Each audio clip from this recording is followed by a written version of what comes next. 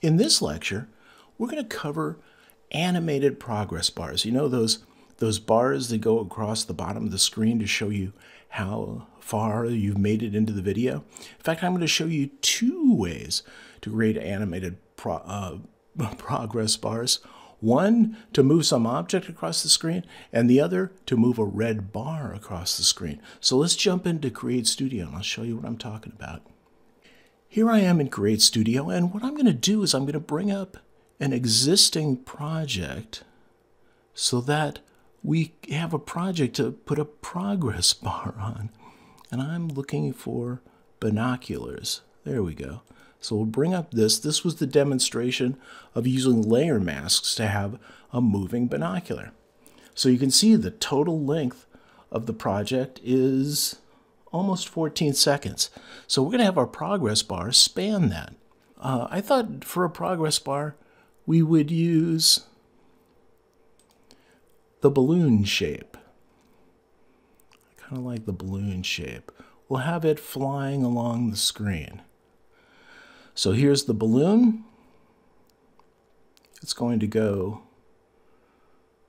all the way across, and it's going to be small so that we can keep it at the bottom of the screen.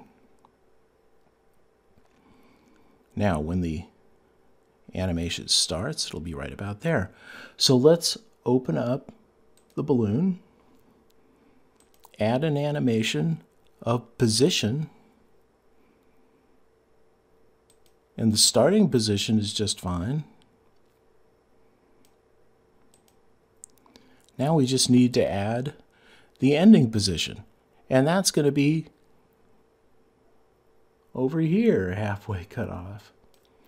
So now all we've got to do is span the entire video with this animation.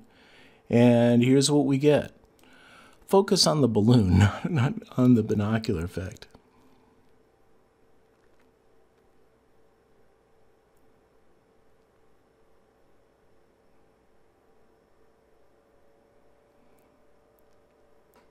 Okay, that's pretty nice, but obviously we need to fix the easing on this and make it linear, both beginning and end. And let's try this one more time.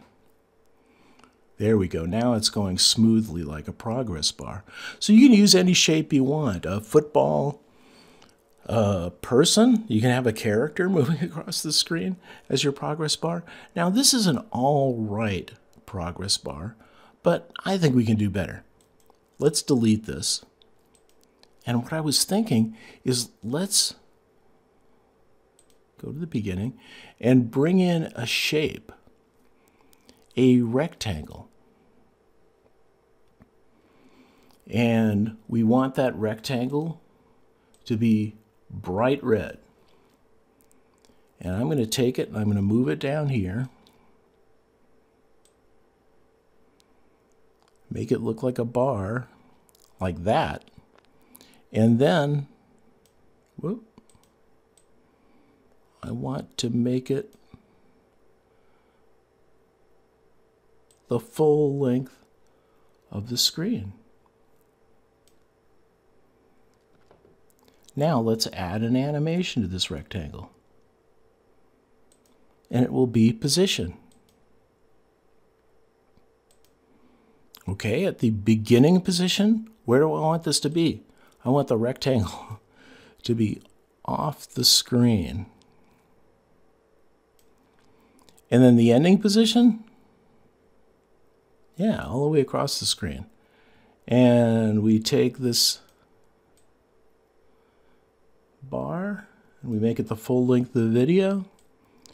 We put the animation to the beginning and we make it the full length of the video.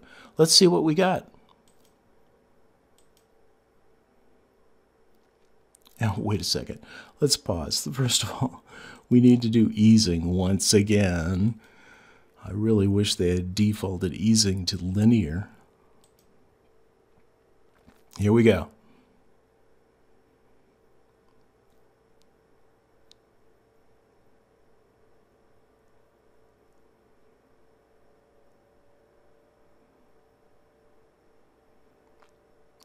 And that's two ways to put a progress bar onto your animations.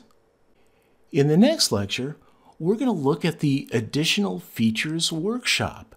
And I thought what I would do is I would present all of the features and stuff that I forgot to include anywhere else in the course. So I'll see you there.